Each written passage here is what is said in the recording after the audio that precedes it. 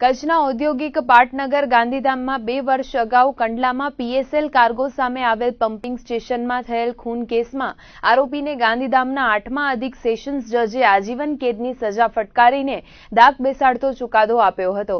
સતત ત્રીજા દિવસે ગાંધીધામ સેશન્સ કોર્ટે હત્યાના બનાવમાં ત્રણ આરોપીઓને આજીવન કેદની સજા ફટકારવાનો હુકમ કર્યો છે. ત્યારે પમ્પિંગ સ્ટેશન પાસે થયેલ હત્યાના બનાવમાં પણ આરોપીને આજીવન કેદની સજાનો હુકમ કરવામાં આવ્યો છે. ગત પચીસમી જુલાઈ બે હજાર સોળના રાત્રિના અઢી ત્રણ વાગ્યાના અરસામાં પીએસએલ કાર્ગો સામે આવેલ કંડલા પમ્પિંગ સ્ટેશન પાસે ગાંધીધામ ખાતે રહેતા આરોપી મનસુખ ખીમા ગેડા લોખંડ ભંગારની ચોરી કરવા આવ્યો હતો.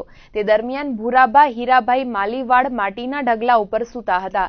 ત્યારે મૃતક ભૂરાભાઈ માલીવાડે આરોપીને પડકારતા આરોપીએ હતભાગી ભૂરાભાઈને વજનદાર કોસ માથાના ભાગમાં મારીને ગંભીર ઇજાઓ પહોંચાડી હતી અને મોતને ગાંઠ ઉતારીને માટીના ઢગલા પર જ ગોદડું ઢાંકીને તેમનો મોબાઈલ લઈને ફરાર થઈ ગયો હતો.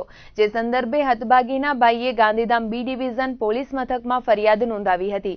ત્યારબાદ પોલીસે તપાસ દરમિયાન આરોપીના ફોન લોકેશનને આધારે આરોપી મનસુખ ખીમા ગેડાને પોલીસે ધરપકડ કરીને પૂછપરછ હાથ ધરી હતી અને આરોપી વિરુદ્ધ પૂરતા પુરાવા એકત્ર કરીને કોર્ટમાં ચાર્જશીટ દાખલ કરી હતી. ત્યારે બે વર્ષ જૂના કેસમાં આજે ગાંધીધામના આઠમા અધિક સેશન્સ જજ વિરાટ બુધાએ આરોપી મનસુખ ખીમાગેડાને તકસીરમાન ઠેરવીને આજીવન કેદની સજા અને દસ હજાર રૂપિયાનો દંડ ફટકારવાનો હુકમ કર્યો હતો. અને જો આરોપી દંડ ના ભરે, તો વધુ એક વર્ષની સખત કેદની સજા સંભળાવી હતી.